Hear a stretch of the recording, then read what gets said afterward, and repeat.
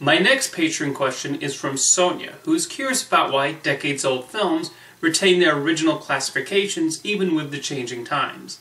Many PG-rated movies made prior to the 2000s, for example Who Framed Roger Rabbit, Goonies, The Sandlot, contain material that would now be considered PG-13.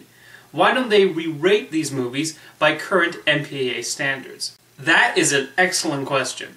As Sonia pointed out, standards change in what is seen as acceptable viewing. Things seen as controversial are now viewed as tame. Things that seemed harmless decades ago are now looked upon with new viewpoints. The MPAA rating system is one that has changed quite a bit over the years, and there are films with ratings that seem a little dodgy when viewed through a modern lens. 2001 A Space Odyssey, one of the earliest films given an official rating, was rated G. This, despite there being violent scenes like early human beings discovering the first weapons and a computer murdering astronauts in outer space. Planet of the Apes was also rated G, even though there were a number of violent moments. We see a man who's been lobotomized and rendered catatonic, and we even get a good look at Charlton Heston's rear end. Jaws has a lot of bloody violence, caused by a hungry shark, and yet it got a PG.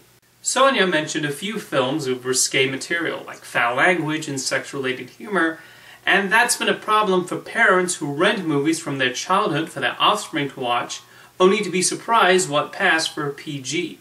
A lot of people have fond memories of watching Mel Brooks' Spaceballs, most of whom probably watched it censored for television, and then are surprised to hear Rick Moranis drop an F-bomb in the theatrical cut.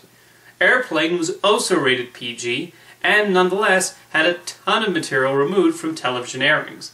Parents deciding to buy the DVD or queue it up on Netflix for their children might be in for a surprise. In the case of movies made before 1984, the PG-13 rating did not exist yet. There was only G, PG, R, and X. Complaints from parents about the gruesome and scary scenes in Gremlins and Indiana Jones and the Temple of Doom were what led to the creation of this new rating. However, the MPAA did not go back and re-rate earlier films like Jaws and Raiders of the Lost Ark. Even Gremlins and Temple of Doom remain PG today. Why? Well, believe it or not, it's not the responsibility of the ratings board to do this. The studios themselves have to choose to resubmit the movies for new ratings. The only times they're required to resubmit films is if they're re-released with significant changes, like added scenes or an alternate director's cut.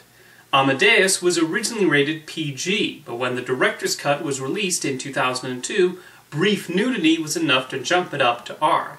Cinema Paradiso also went from PG to R for re-release. One of the most interesting cases was The Wizard of Oz.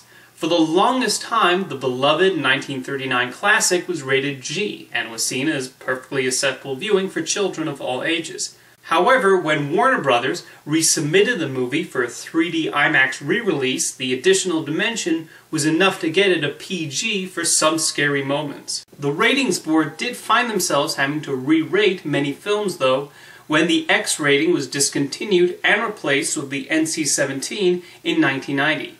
This meant a lot of movies were on the market with a rating no longer endorsed by the MPAA.